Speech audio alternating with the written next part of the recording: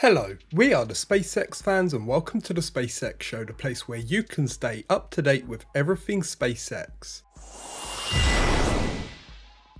During the week, SpaceX successfully launched the Galaxy 37 Horizons 4 mission on a Falcon 9 rocket. One, ignition, and liftoff for Falcon 9. Go Falcon, go Galaxy 37. The booster which launched this mission, B-1077, then landed successfully for the sixth time on the drone ship Just Read the Instructions. And back shutdown. There's SECO 1. We're just waiting confirmation of a good orbit and a stage 1 landing. Nominal orbit insertion. There we go. Great news there. Confirmation of a good orbit. Stage 1 landing leg deploy.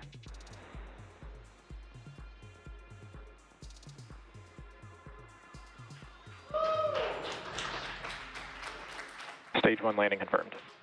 There you have it, folks. Expected losses hill, Cape. That landing marks SpaceX's 213th recovery of an orbital class rocket, and that includes first stage landings for Falcon 9 and Falcon Heavy missions. We can hopefully expect to see a few Starlink missions launched this coming week. The first of these, the Starlink 6-8 mission is currently scheduled for tomorrow, Monday 7th at 1am UTC or today, Sunday 6th at 9pm EDT.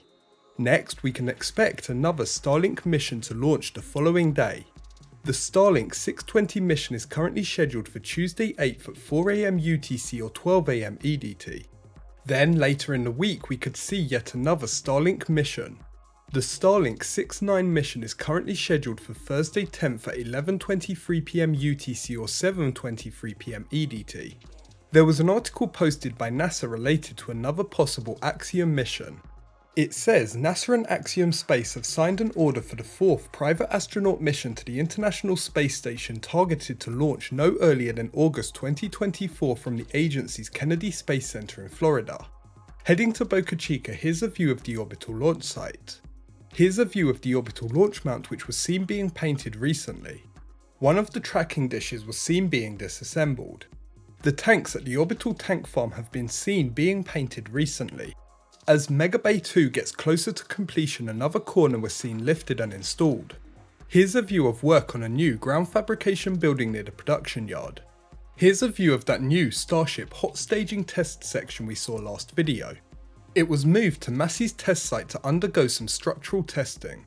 Pieces of the scrapped SN-15 prototype are being scrapped in the yard. The Starship 28 prototype was recently seen cryo tested at Massey's test site. Since that testing, the Ship 28 prototype has been rolled back to the production site. The Ship 30 nose cone was seen being lifted in the high bay for some stacking. SpaceX posted this cool picture of Booster 9 undergoing testing on the orbital launch mount.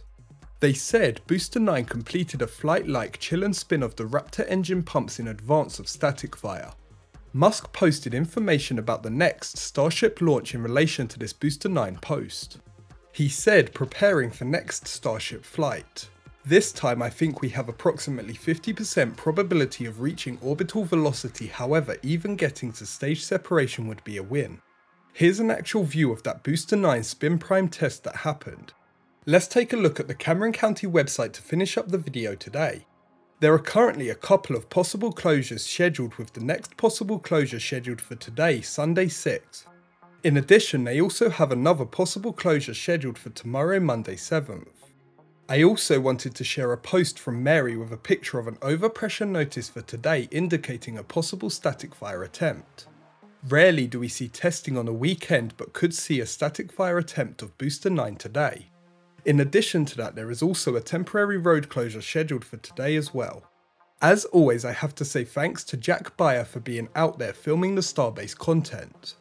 Also, I have to say thanks to Sean Doherty for being out there filming the Starbase content too. Plus, thanks to the NASA spaceflight team working behind the scenes on their videos, live streams and other space content. That's it for this episode of the SpaceX Show. I hope you enjoyed the video. If you did, make sure to hit the like button and leave a comment down below.